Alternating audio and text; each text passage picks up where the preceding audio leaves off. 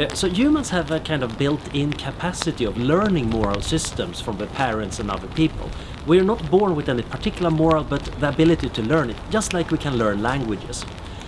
The problem is, of course, this built-in facility might have worked quite well back in Stone Age when we were evolving in small tribal community, and doesn't work that well when surrounded with a high-tech civilization, millions of other people, and technologies that could be potentially very dangerous.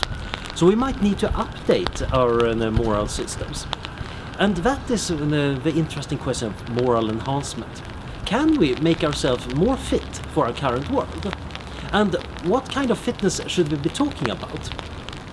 For example, we might want to improve altruism, that we should be kind to strangers. But in a big society, in a big town, of course, we're going to be some strangers that you shouldn't trust. So it's not just blind trust you want to enhance. You actually want to enhance ability to uh, make uh, the careful judgments, to figure out what's going to happen and who you can trust. So maybe you want to, have some other aspect, maybe the care the circles of care is what you want to expand.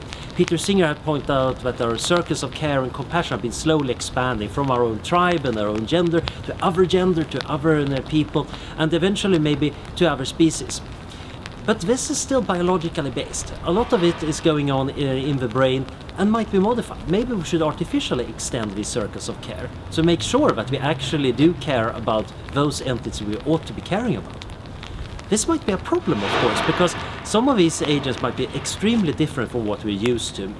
For example, machine intelligence might produce um, more machines or software that is moral is a moral patient. We actually ought to be caring about the suffering of software. That might be very tricky because our pattern receptors up in the brain are not very tuned for that. We tend to think that if it got uh, on face and uh, speaks, then it's human and then we can care about it. But who thinks about Google? Maybe we could get super intelligences that we actually ought to care a lot about, but we can't recognize them at all because they're so utterly different from ourselves. Yeah, so there are some easy ways of modifying how we think and react, for example by taking a drug. So the hormone oxytocin is sometimes called the cuddle hormone. It's released when uh, breastfeeding and uh, when having bodily contact with your loved one. And it generally seems to be making us more altruistic, more uh, willing to trust strangers you can kind of sniff it and run an economic game and you can immediately see a change in response. It might also make you a bit more ethnocentric. It does enlarge your feelings of uh, comfort and uh, family friendliness, except that it's only within what you consider to be your family. So we might want to tweak that. Similarly, we might think about adding links to our brains that allow us to think in better ways. After all, morality is dependent on us being able to predict what's going to happen when we do something. So various forms of intelligence enhancement might be very useful also for becoming more moral.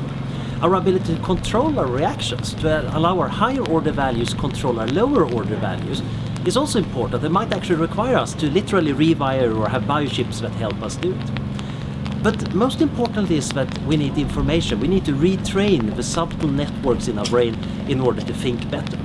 And that's going to require something akin to therapy. It might not necessarily be about lying on a sofa and telling uh, a psychologist about your mother. It might very well be a bit of training, a bit of cognitive enhancement, maybe a bit of brain scanning to figure out what actually ails you. It's probably going to look very, very different from anything Freud or anybody else envisioned for the future. But I think in the future we're actually going to try to modify ourselves so we're going to be get extra sane maybe even extra moral so we can function in a complex big world.